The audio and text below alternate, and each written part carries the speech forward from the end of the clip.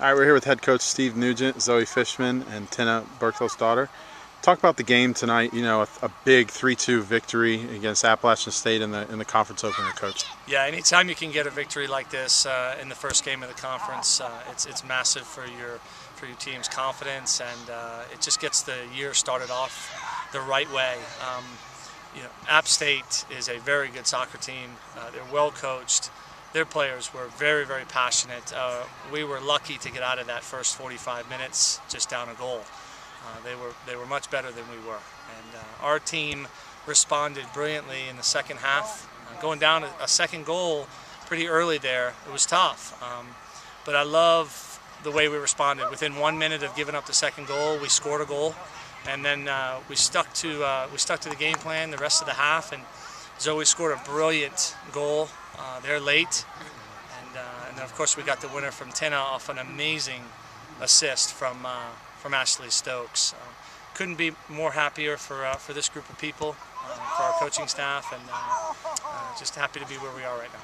Zoe, four minutes left. You, you tie the game. Talk about you know where you were position wise, how it felt to you on the field.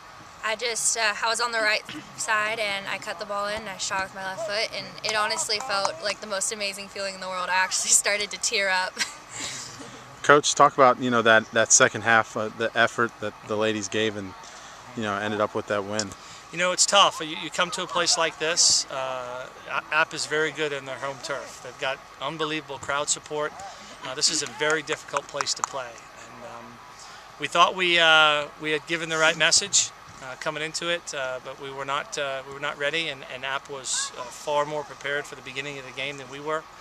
Um, but one of the things I'm really excited about is, is how our younger players responded in this game, and then at the same time, um, the, the, the example that the, the upperclassmen set. Uh, you know, this loss last year and a couple of losses last year uh, were very tough uh, in the end of the game. And I was real happy for our group that they came out on top.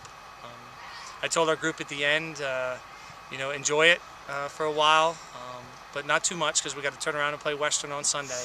and the other thing is, you know, you have to be careful too because uh, we might have to see this team again, and uh, we know what they're made of. We know what. Uh, you know what their uh, their team spirit is, and we better be ready if we ever have to take the field against App again. Tinna, in, in your own words, talk about you know your emotions after that game-winning goal.